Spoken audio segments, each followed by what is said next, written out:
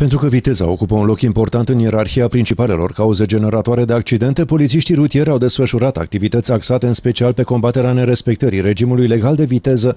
Au fost supravegheate în deoseb tronsoanele de drum cu risc ridicat de producerea accidentelor DN1C Baia Mare Șoncuta Mare, DN18 Sighetul Marmației Borșa, drumul județean 108A Ardusat Fărcașa, drumul județean 186 Săcel Vadu Izei și drumurile publice din Seini. În acest weekend au fost controlate peste 300 de autovehicule și au fost aplicate 182 de sancțiuni contravenționale. Peste 130 dintre acestea au fost aplicate șoferilor care au condus cu viteză peste limita legală admisă. Ca măsură complementară au fost reținute 15 permise de conducere. Valoarea amenzilor aplicate a fost de aproape 100.000 de lei. Polițiștii rutieri vor fi în continuare prezenți pe principalele artere de circulație din județ pentru depistarea celor care pun în pericol siguranța traficului rutier.